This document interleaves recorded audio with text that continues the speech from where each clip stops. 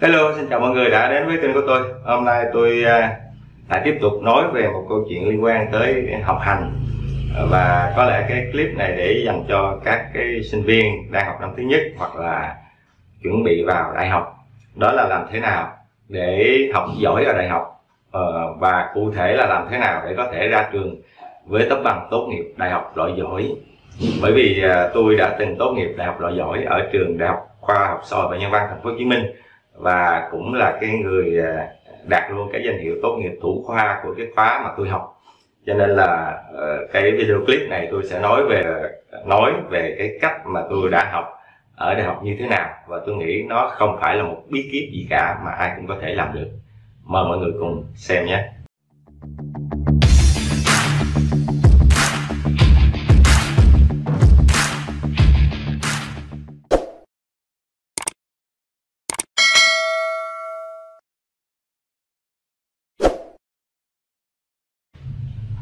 Thì tất cả chúng ta khi mà chúng ta làm cái gì đó ờ, cái mục tiêu hướng tới của chúng ta lúc nào cũng phải là giỏi phải đạt được hiệu quả cao.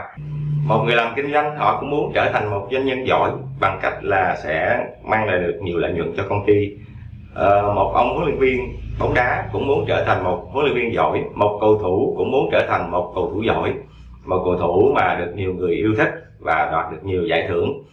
Ờ, mà ông tổng thống, ông cũng muốn là ông tổng thống giỏi, được ờ, mang lại nhiều cái thành tựu cho quốc gia cũng như là đời sống ờ, tốt hơn cho người dân. Nói chung là ai cũng muốn khi mà làm gì đó cũng đều muốn trở thành tốt và giỏi cả. Và người sinh viên khi đi học thì tôi nghĩ bình thường thì ai cũng muốn trở thành một sinh viên giỏi, một người có thành tích học tập tốt. Tuy nhiên là tôi nghĩ có những cái sinh viên mà không cần phải xem cái video clip này.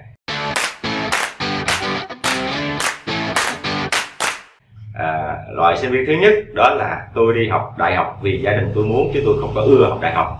À, có nghĩa là cái đam, đam mê của tôi là khác. Tôi muốn trở thành ca sĩ tôi muốn thành diễn viên tôi muốn thành người mẫu tôi muốn uh, trở thành một cái người làm cái gì đó. Uh, nhưng mà gia đình ép tôi phải đi học đại học uh, vì uh, sĩ diện của gia đình cho nên là tôi phải đi học đại học. Thì những người này không cần phải uh, học giỏi để làm gì. Cái loại người thứ hai đó là được gia đình lót sẵn cái ổ tức là được cha mẹ ông bà anh chị em gì đó lo lót sẵn trước một cái chỗ làm việc. Rồi hoặc là có một cái cơ ngơi một doanh nghiệp sẵn rồi chỉ cần có cái bằng tốt nghiệp đại học là vào đó làm thôi mà không cần phải lo cạnh tranh với ai cả thì cũng không cần phải xem clip này bởi vì clip này nói về làm sao để học giỏi. À, một cái à, loại người thứ ba đó là à, những người quan niệm rằng học giỏi để làm gì?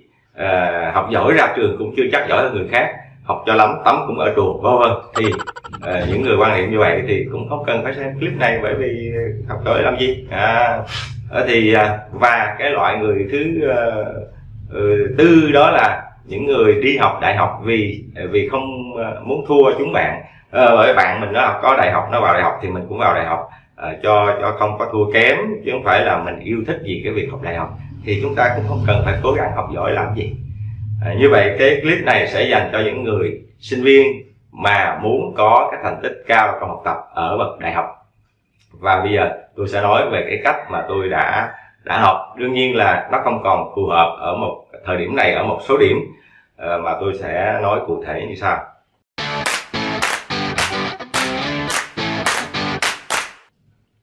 Cái việc thứ nhất muốn học ờ, có thành tích tốt ở đại học thì phải đi học thường xuyên. Ờ, mình phải đi học thường xuyên. À, cho dù là có những cái ờ, môn mà có ở đại học thì chúng ta học rất là nhiều môn có môn thì gặp thầy cô dạy rất là hứng thú dạy rất là ờ, ok chúng ta rất là mê. Và có những thầy cô dạy thì rất là chán nhưng mà không phải là thầy cô dạy chán rồi mình nghĩ bởi vì mình phải đi nghe để mình biết nó chán chỗ nào. Và nó cũng có cái hay là mình đi để mình học có cái cách mà những thầy cô dở, người ta làm cách nào để người ta khống chế được cái lớp học. Đó là một phương pháp để mà mình có thể học hỏi sau này. Thí dụ mình mình thấy trong nhân viên của mình có những cái đứa nó giỏi quá như vậy thì mình làm cách nào để mình mình mình có thể ờ, mình mình mình mình thu phục được. Thì những, mình có thể học được như vậy. Và mình phải đi để mình nghe bởi vì những người dở thì cũng có những cái gì đó hay để nghe, chứ không phải là chỉ có đi học những ông giảng viên mà có tiếng tâm và giỏi còn những ông giảng viên mà mình thấy là không giỏi thì mình không đi. Mình phải đi để mình nghe những câu chuyện. Dù dở nó cũng là một câu chuyện. À, đi đến đại học nghe là một việc rồi. Thứ hai là phải ghi chép. Ở đại học thì nó hoàn toàn không có giống ở phổ thông là thầy cô ờ, đọc cho chúng ta chép câu nào câu nào mà chúng ta nghe.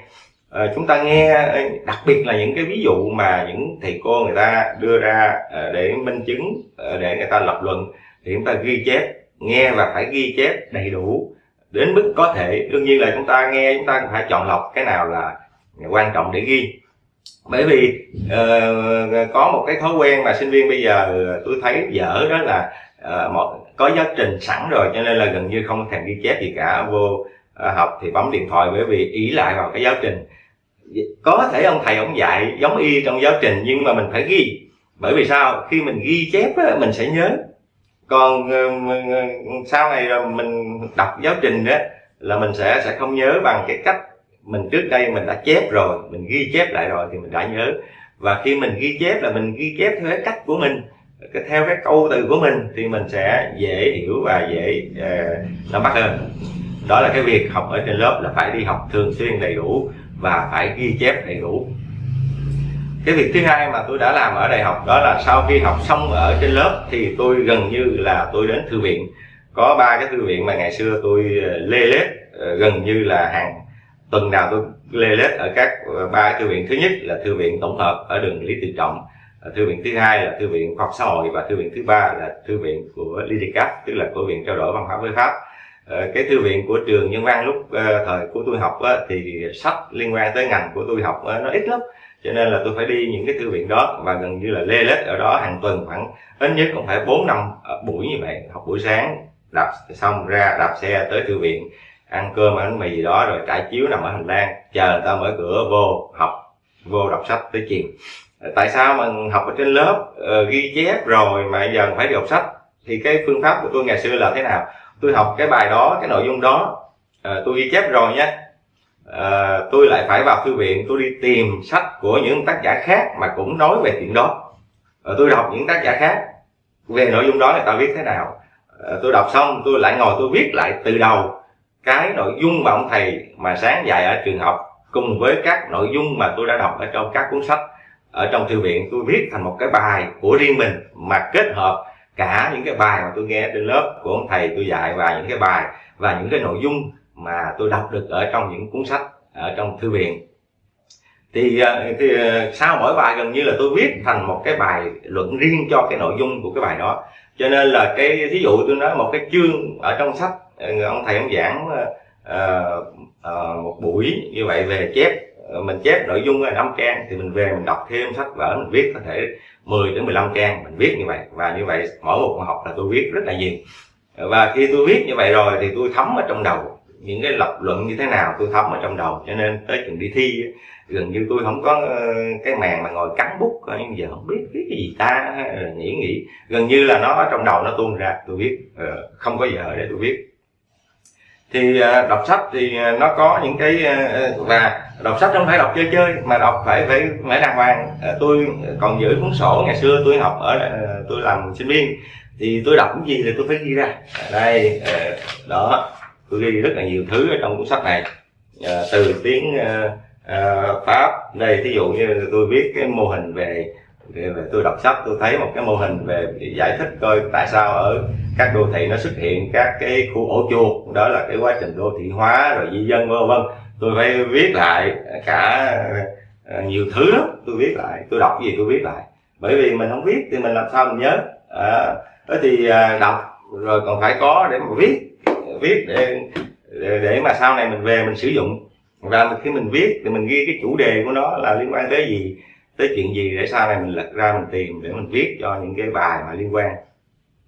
À, chẳng những là tôi đọc sách tôi viết không mà tôi còn làm tôi đọc báo nhiều lắm. Và và những bài báo nào hay thì tôi ờ, sẽ sẽ cắt tôi dán. Ờ, tôi lấy cái uh, mấy cái tờ lịch cũ lịch mình treo tường đó lịch 12 tờ 6 tờ gì đó. À, giống vậy nè đó, tôi cắt ra. À, tôi cắt ra thành từng biến rồi tôi đọc cái bài nào hay ờ, tôi cắt tôi dán ra này à, ờ, tôi dán lên tôi làm những cái fish như thế này. À, để và đương nhiên là trên cái fish này có ghi các cái chủ đề. Và khi cần thì mình lấy ra mình đọc. À, đây những cái bài những cái bài báo tôi tôi tôi tôi thấy nó hay và tôi tôi liên quan tới nhiều chủ đề mà mình quan tâm thì mình dán lại để dành. Đó thì làm rất là nhiều cái fish như thế này. Đó, để mà đây ví dụ như năng lực uh, sinh viên một cái bài mà nó liên quan tới sinh viên thì mình mình dán lại. Thế thì uh, tôi phải uh, đó uh, thì mình có sách và uh, như vậy thì uh, đương nhiên là phải uh, làm việc với sách vở với chữ rất là nhiều. Và có một điều nữa là uh, chúng ta vào thư viện thì có khi là những cái sách về về ngành của mình á, là bằng tiếng việt nó rất là ít cho nên là mình phải rèn luyện ngoại ngữ để mình đọc được sách ngoại ngữ. Bởi vì à, à quan điểm của tôi là một người à, biết một ngoại ngữ sẽ có kiến thức hơn cái người không biết ngoại ngữ. Một người biết hai ngoại ngữ sẽ có kiến thức cao hơn cái người biết một ngoại ngữ. Và một người biết ba ngoại ngữ sẽ có kiến thức cao hơn cái người chỉ biết có hai ngoại ngữ.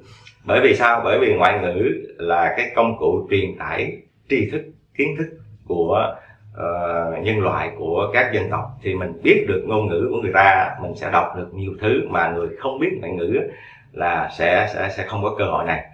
À, nếu chúng ta không biết ngoại ngữ thì chúng ta chỉ đọc sách bằng tiếng việt và mình đọc sách dịch thôi mà mình đâu có biết người ta dịch đúng hay sai. À, cho nên là nếu mình đọc được cái bản gốc á, thì mình sẽ nắm được cái nội dung cái ờ, tinh thần của cái cuốn sách đó nó tốt hơn là mình đọc cuốn sách dịch.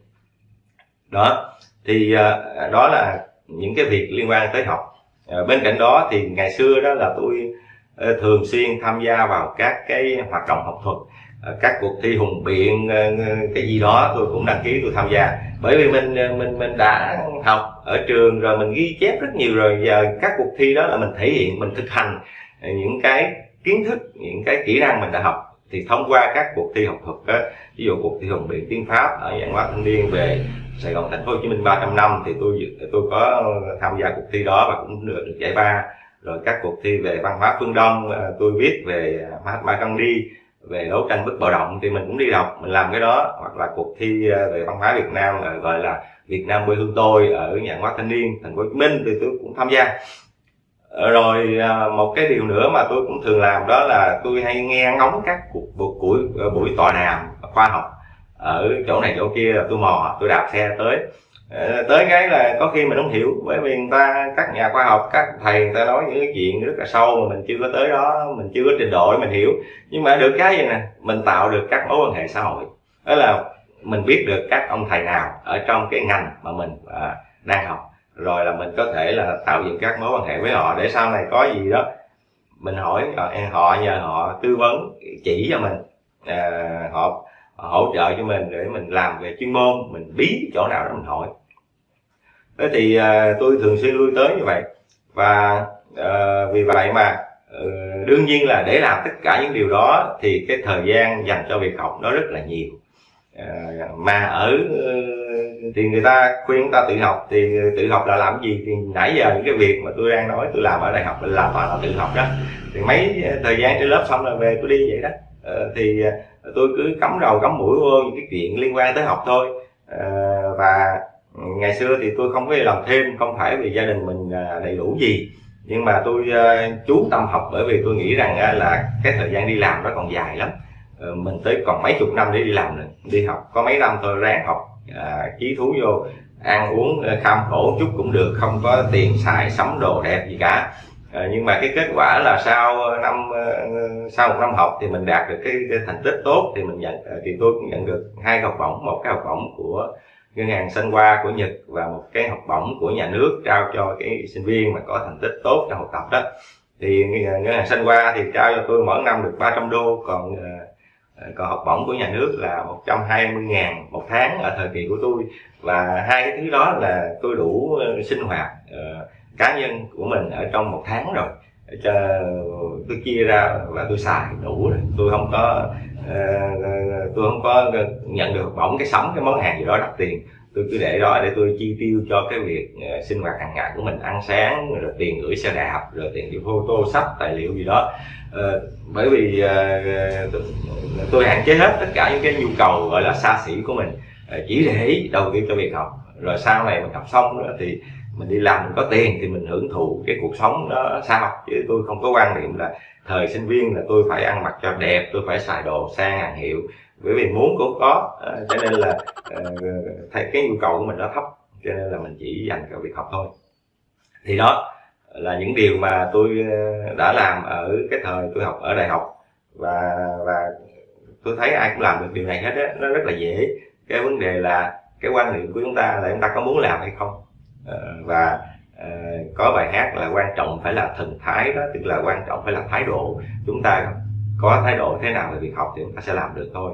Và tôi đã làm được thì đương nhiên là ai cũng làm được rồi. Xin cảm ơn mọi người đã theo dõi. Và nếu hữu ích thì like và chia sẻ video này nhé. Xin chào và hẹn gặp lại ở video sau.